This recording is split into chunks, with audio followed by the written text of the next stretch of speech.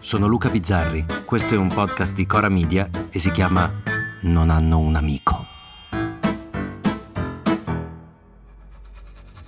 È la corsa più pazza del mondo. Bellezza.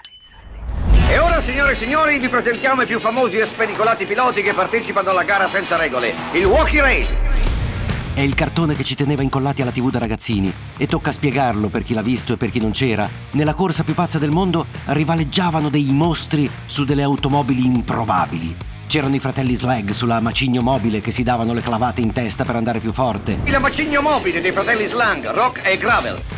Lazy Luke e l'insetto scoppiettante. In penultima posizione l'insetto scoppiettante di Duke e Blubber. Un montanaro che guidava coi piedi. Peter Perfect, il muscolosissimo pilota. La prima vettura è la 6 cilindri di Peter Perfect. E poi Dick Dastardly e il cane Matley. All'ultimo posto sulla vettura 00 Dick Dastardly, pilota dell'astuzia proverbiale. Suo compagno di corsa il fedele Matley, che lo aiuta nei suoi trucchi al limite del regolamento.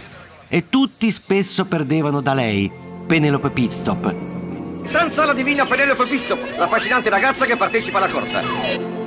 La biondina che arrivava prima mentre gli altri, intorno a lei, farneticavano. E mentre Penelope Meloni continua spesso ad arrivare prima, per mancanza di avversari, intorno a lei il florilegio di mostri sembra non finire mai. E all'uscita del ministro San Giuliano, investito da un carro di buoi mentre inseguiva un pelo di figa. Guardi, la prima persona a cui devo chiedere scusa che poi è una persona eccezionale, è mia moglie. Gli altri scalpitano per essere al centro dell'attenzione, per farsi notare, per non essere da meno. E ci riescono. Riescono a scavare nelle profondità dell'animo umano per far affiorare la loro vanitosa insipienza, amplificata da una sinistra che ormai è del tutto inebetita, assente dal dibattito. Basti pensare che l'esponente di sinistra più citata degli ultimi giorni dei media è Ilaria Salis, che col suo eloquio da ripetente di terza media annuncia che le carceri minorili andrebbero chiuse. Deve essere chiuso il Beccaria e devono essere abolite tutte le carceri per minori non rese umane e funzionanti, chiuse, che si fa poi di un diciassettenne che accoltella una vecchietta non lo sa dire. Ma a questo vagito di sinistra di là rispondono i tromboni. E se c'è da tromboneggiare parte Salvini che dice che il suo ponte sullo stretto sarà come la cupola del Brunelleschi e come quella viene osteggiata perché pure lì, a Firenze, c'erano i no cupola anche la cupola di Brunelleschi non aveva precedenti nella storia dell'architettura. Anche ai tempi è interessante studiare come la storia si ripeta, c'erano i no cupola. E uno che gli chieda come straminchia gli sia venuto in mente i no cupola non c'è anche perché ho come l'impressione che davanti a Salvini ci sia ormai solo rassegnazione, come davanti al cugino che a Natale ha bevuto troppo spumante e molesta tutti durante il mercante in fiera. Ma dai, lascialo fare, è così, cosa gli vuoi dire che tanto non capisce? Poi c'è Sant'Anché. Ma voi sapete quanto tempo ci vuole a costruire una destination, una brand reputation.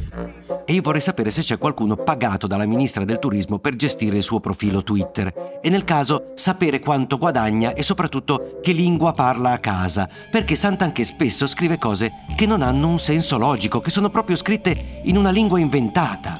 Lo fa spesso. Ieri ha vergato questo componimento. Meglio molti che pochi turisti, ma l'importante è la qualità.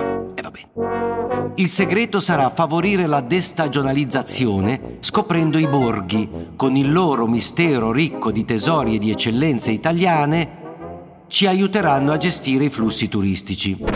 Ripeto, il segreto sarà favorire la destagionalizzazione, scoprendo i borghi, virgola, con il loro mistero ricco di tesori e di eccellenze italiane, virgola, ci aiuteranno a gestire i flussi turistici chi? Qui manca proprio il soggetto, a meno che non siano i borghi che ci aiuteranno, nel caso manca dell'altro, manca almeno un che.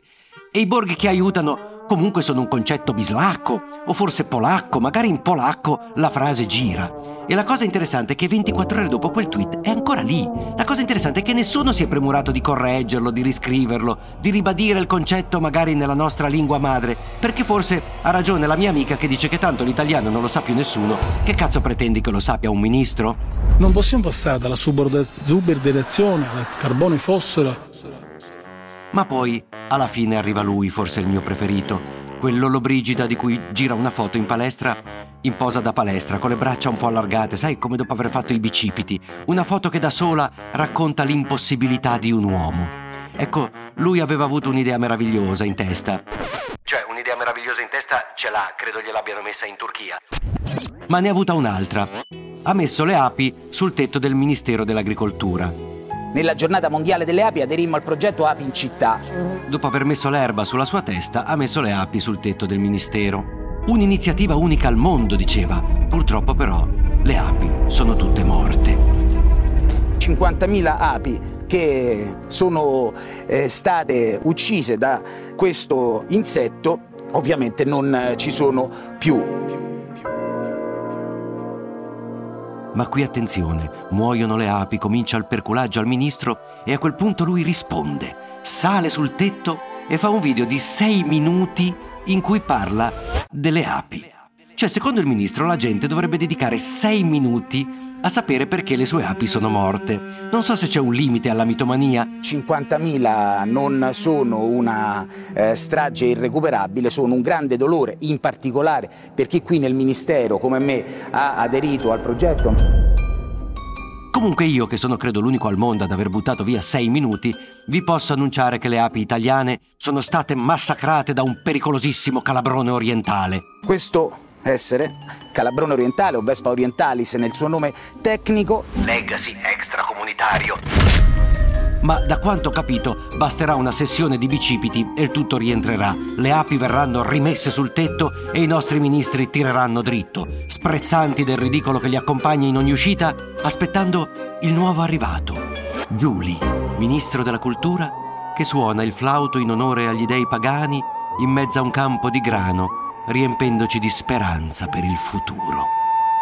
La terra splendente che avvolge nel suo cerchio il raggio celeste fecondatore. Kerres. Scusate un piccolo aggiornamento, nel pomeriggio Lolo Brigida ha pubblicato un altro video di altri 4 minuti in cui riparlava delle api e del ripopolamento delle api attaccate dai calabroni. Siamo a dar vita nuovamente all'alveare.